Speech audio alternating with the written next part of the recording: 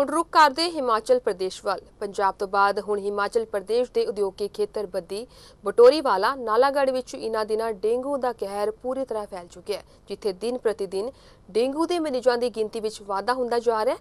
ਖੇਤਰ ਵਿੱਚ ਹੁਣ ਤੱਕ ਕਰੀਬ 100 ਤੋਂ ਜ਼ਿਆਦਾ ਲੋਕ ਡੇਂਗੂ ਦੇ ਸ਼ਿਕਾਰ ਹੋ ਚੁੱਕੇ ਨੇ। ਜੇਕਰ ਪਿਛਲੇ 2 ਦਿਨਾਂ ਦੀ ਗੱਲ ਕੀਤੀ ਜਾਵੇ ਤਾਂ 20 ਤੋਂ ਜ਼ਿਆਦਾ ਲੋਕਾਂ ਨੂੰ ਡੇਂਗੂ ਦਾ ਮਰੀਜ਼ ਪਾਇਆ ਗਿਆ ਜਿਨ੍ਹਾਂ ਦਾ ਬੀਬੀਐਨ ਦੇ ਸਰਕਾਰੀ ਹਸਪਤਾਲ ਵਿੱਚ ਇਲਾਜ ਚੱਲ ਰਿਹਾ ਹੈ ਅਤੇ ਹਾਲਤ ਨੂੰ ਗੰਭੀਰ ਵੇਖਦੇ ਹੋਏ ਮਰੀਜ਼ਾਂ ਨੂੰ ਚੰਡੀਗੜ੍ਹ ਦੇ ਪੀਜੀਆਈ ਹਸਪਤਾਲ ਵਿੱਚ ਰੈਫਰ ਕਰ ਦਿੱਤਾ ਗਿਆ ਡੇਂਗੂ ਦੀ ਪ੍ਰੋਬਲਮ ਹੈ ਜਨਾਬ। ਅਸੀਂ ਵੀਰਵਾਰ ਦੇ ਇੱਥੇ ਐਡਮਿਟ ਹੈ।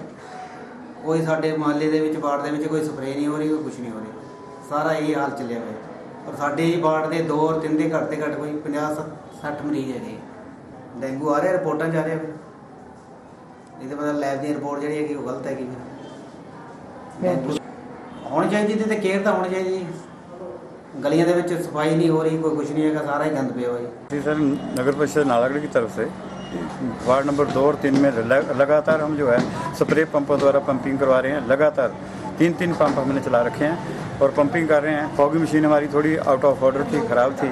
तो हम्म, पिछले शनिवार से फॉगी मशीन हमारी वार्ड नंबर दो और तीन फॉगिंग से क्लियर कर दिया है। अब फॉगिंग आज भी चली हुई है। अब हम हॉस्पिटल में हॉस्पिटल में फॉग कर रहे हैं और हमारे सारे कमेटी के जितने एम्प्लॉइज़ हैं वो भी हैं। हम भी और फोर्स इसके हमारे हॉस्पिटल के भी कुछ आदमी जो है हमारे साथ हेल्थ वर्कर्स वगैरह वो भी साथ में